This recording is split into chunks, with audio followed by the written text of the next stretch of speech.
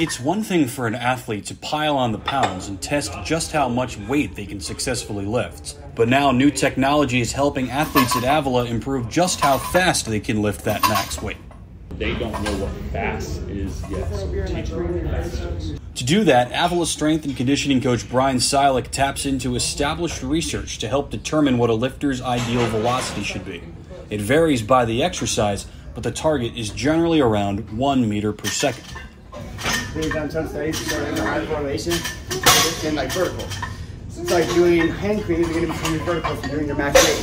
If you start doing it at like one meter per second, then you'll start seeing some better improvements um, on stuff. To track this velocity and measure his athlete's progress, Ciolek has brought into Avila's weight room new technology from RepOne.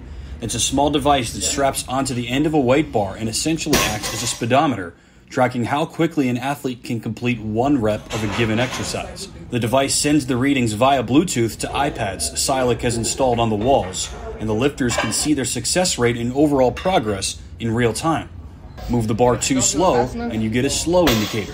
Too fast, and you see fast.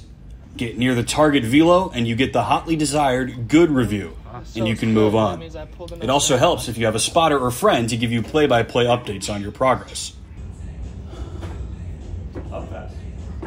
Slow. Slow. 0.53, come on. 0.62, slow. Stop. Each rep is a data point, and each data point can be used to track an athlete's progress over a season, a semester, or through their career. Ciolek estimates that across every Avila athlete, he can track more than 200,000 individual data points each semester, which the kinesiology department can then analyze and his department can utilize to potentially mitigate injuries. And over a season, maybe we can start to say this athlete's body needs more rest. They need to back off. Coach, maybe we need to consider putting them on reserve status for a week so they can heal, so that they can actually come back at a better intensity. We don't have that accuracy until we can measure repeated jump efforts and show that they have a declination of 20% off their vertical jump by week eight. We might need to rest that athlete a little bit. Each one of those data points is also cast to a large leaderboard on each of the end walls so that everyone in the weight room can see who, for example, has the best success rate.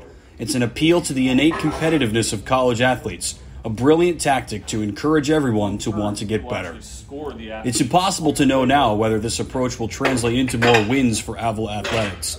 But as one of the only universities in the country to employ this technology, Ciolek believes that RepOne and a focus on velocity will help Avila's athletes become healthier and more powerful.